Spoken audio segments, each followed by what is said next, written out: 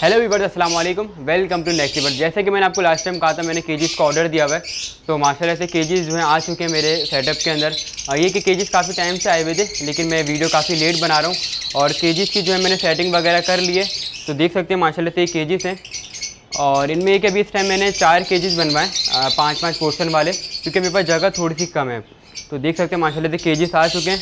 अभी इंशाल्लाह इसमें से जो मेरे पास चिक्स वगैरह मैंने अपने घर के रोके हुए थे, और जो ब्रीडर्स पेड़ थे, उसमें से ये आहिस्ता आहिस्ता मैं इनमें पेड़ शिफ्ट करता रहूँगा, क्योंकि अभी जैसा कि आपको पता है सीज़न जो है एंड की तरफ़ जा रहा है। अब जिन जिन पेड़ की ब्रीड आई हुई है, उनके जो है ब्रीड लेकर, इंशाल्लाह जो जैसे पेड़ फारिग होते रहेंगे उन पेड्स को यहाँ पे मैं शिफ्ट करता रहूँगा। बाकी जो मैंने घर के चिक्स वगैरह रोके हुए इंशाल्लाह वो भी जो है चिक्स मैं यहाँ पे इनको डालूँगा। और बाकी इस केजिस में मैंने जो है थोड़ी सी चेंजिंग करवाई है। जैसे कि आप देख सकते हैं, इसका जो साइज़ है ये आपको मैं दिखाता हूँ। यहाँ से यहाँ तक इसका जो साइज़ है वो दो फिट है। हाइट इसकी डेढ़ फिट है और जो गहराई है वो जो है इसकी ढाई फिट है। और इसमें जो है अंदर से बॉक्स लगेगा। इसमें जो है बाहर से बॉक्स नहीं लगेगा। बाकी दाने पानी का जो बर्तन का खाना होता है वो यहाँ पे मौजूद है। बाकी इस जगह पे यहाँ पे जो है बॉक्स लगेगा। अंदर से बॉक्स लगेगा, एक स्टिक पीछे लग जाएगी। बाकी पूरा जो है, इसके अंदर जो है पाँच पेड़ इसमें जो है आराम से आ जाएँगे।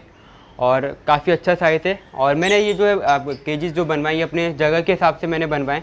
क्योंकि मेरी जगह पे ये वाले केजीज सूट कर रहे थे। अगर मैं बाहर से बॉक्स लगने वाले केजीज बनवाता तो यहाँ पे मेरी जगह थोड़ी सी कम हो जाती। यहाँ पे जो है बीच में गैप काफ़ी ज़्यादा कम हो जाता। इसमें भी ब्रीड नहीं करवाई मैंने, इंशाल्लाह लास्ट टाइम अभी इनको पेड़ छोड़ूँगा, फिर इसके बाद जो है सीज़न नेक्स्ट सीज़न शुरू होगा, नया सीज़न तो उसमें यहाँ पे जो है ब्रीड स्टार्ट होगी।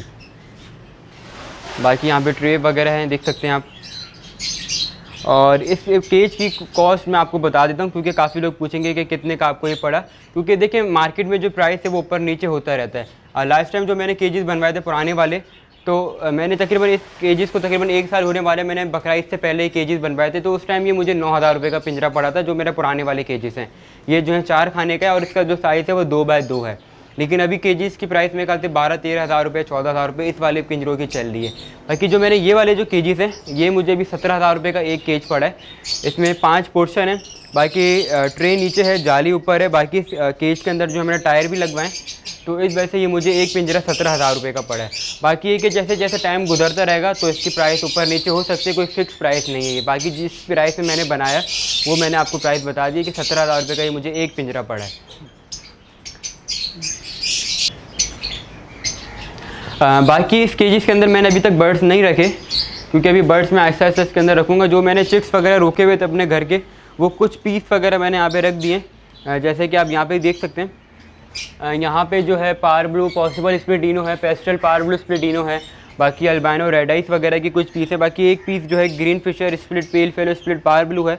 ये मेरे घर के चिक्स है जो कि रोके हुए मैंने। इस के के अंदर कुछ जो चिक्स वगैरह मेरे घर के निकले थे, वो मैंने यहाँ पे रखे हुए। क्योंकि ये कभी ब्रीडर्स पेड़ तो यहाँ पे नहीं आएँगे, जैसे ये बर्ड्स रेडी होंगे, इंशाल्लाह इनको मैं इसी के के अंदर ब्रीड पे लगाऊँगा। बाकी इसके अंदर मैंने एक चीज़ और करवाई, वो मैं आपको बता देता हूँ। इसमें जो केजेस के अंदर है, इसके तीन खाने अलग हैं और दो खाने अलग हैं। ये देख सकते हैं, यहाँ से जो है ये खाने पूरे के पूरे निकल जाएँगे। ये मैंने अभी सारे बाँध दिए थे इनको, ये देख सकते हैं।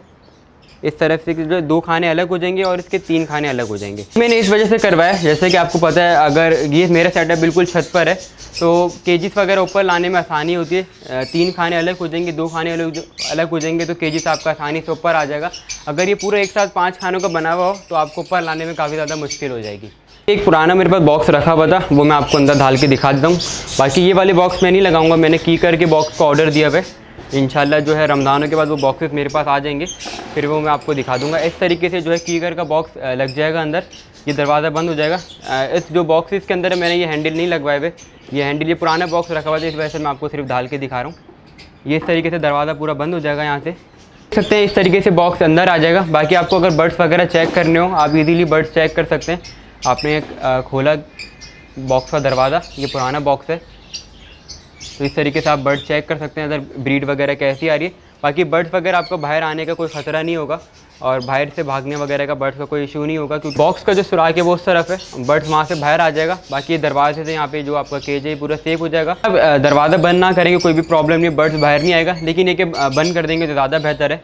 तो इस तरीके से आपको जो है ये एक पेयर इसके अंदर आराम से आ जाएगा। जो इसकी जो डेप्थ है वो मैंने ढाई फीट इसलिए रखवाई है, क्योंकि बर्ड्स को अच्छी फ्लाइंग मिले, बाकी जो चिक्स वगैरह निकलेंगे बर्ड्स के उनको भी अच्छी फ्लाइंग मिले, ताकि बर्ड्स का जो है साइज़ अच्छा रहे। क्योंकि अगर जितनी अच्छी आप फ्लाइंग देंगे छोटे बच्चे को या बड़े पीस को तो उसका जो है जिसम वैसे एक्टिव रहेगा, इस वजह से बर्ड जो है इसमें कमज़ोर भी नहीं होगा, इसके जो है साइज़ भी अच्छा रहेगा, और वो चर्बी के अंदर भी नहीं आएगा। तो देख सकते हैं, इस तरीके से पेड़ इंशाल्लाह रेडी होंगे इसके अंदर। इसके अलावा कोई और से बर्ड्स भी आप ब्रीड करवा सकते हैं इसके अंदर। लेकिन मैं इंशाल्लाह इनके अंदर लव बर्ड्स की लव बर्ड्स की ब्रीड करवाऊँगा। बाकी इसके अंदर जो पेड़ में लगाऊँगा, वो मैं आपको बता देता हूँ, जो कि मैंने घर के चिक्स रोके हुए डैकिनो, क्रिमनो, अल्बाइनो हो गया, कुछ पेल्स फैलों के चिक्स वगैरह रोके हुए वो इंशाल्लाह मैं इसके अंदर लगाऊँगा। तो इस तरीके से जो इसमें सब के सब जो है बीट आ जाएगी और इंशाल्लाह इसके अंदर जो है, जो चार के इसके अंदर मेरे बीस पेयर इंशाल्लाह और लवर्स के आ जाएँगे, जिसमें से कुछ फॉस्टर पेयर भी होंगे, कुछ म्यूटेशन के बर्ड्स भी होंगे। अपने आपको मास्टर केज का ओवरव्यू दिखा देता हूँ। देख सकते हैं इस साइड पर जो है नए के आ गए और इस साइड पर जो पुराने के हैं, वो यहाँ पर लगे हुए और बीच में जो जगह है, ये काफ़ी अच्छी है, जो है मेरे को स्पेस मिल गई क्योंकि आने जाने के लिए यहाँ पे अच्छा स्पेस हो गया है। और बॉक्सेस वगैरह अंदर होंगे, इधर जो है बॉक्सेस बाहर होंगे तो अच्छा खासा स्पेस यहाँ पे मौजूद है। तो इंशाल्लाह नेक्स्ट सीज़न में जब इन केजेस के अंदर बर्ड्स में लगाऊँगा या पेयरिंग वगैरह में करूँगा सीज़न ऑफ़ जब हो जाएगा, उसके बाद जब सीज़न स्टार्ट होने वाला होगा तो इंशाल्लाह इसमें पेयरिंग जब मैं करूँगा, वो मैं आपको दिखाऊँगा कि कौन कौन से पेड्स मैं इधर लगा रहा हूँ। बाकी ये थी वीडियो नए के से काफ़ी लोग पूछ रहे थे कि आपके के से आपने ऑर्डर दिया हुआ था अभी तक आए नहीं, आपने वीडियो शेयर नहीं करी। तो माशा से के आ चुके हैं नए।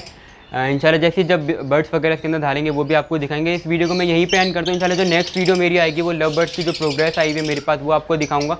लोगों के कमेंट्स वगैरह आ रहे थे कि आप जो है रमज़ानों में लालू के बर्ड्स मार्केट की वीडियो कवर नहीं कर रहे। तो रमज़ान में कुछ टाइम का इशू है। टाइम मुझे नहीं मिल पा रहा मार्केट जाने का। तो इस वजह से मैं मार्केट की वीडियो कवर नहीं कर रहा तो इंशाल्लाह रमज़ान के बाद कंटिन्यू करेंगे मार्केट की वीडियोस को। इस रमज़ान में जो है मार्केट की वीडियो नहीं करूँगा कवर बाकी जो कुछ छोटे मोटे जो सेटअप है मेरा अपना उसकी मैं वीडियो कवर करूँगा, इसके अलावा फिर रमज़ान के बाद इंशाल्लाह फिर से स्टार्ट करेंगे सेटअप की वीडियो भी कवर करेंगे मार्केट की वीडियो भी कवर करेंगे। तो चलिए वीडियो को मैं यहीं पर एंड करता हूँ। उम्मीद करते हैं ये वीडियो आपको काफ़ी पसंद आई होगी। अगर पसंद है मेरे चैनल को लाइक और सब्सक्राइब करना ना भूलेगा कि हमारे अल्लाह अल्लाह हाफ़ इंशाल्लाह फिर मिलेंगे नेक्स्ट वीडियो में।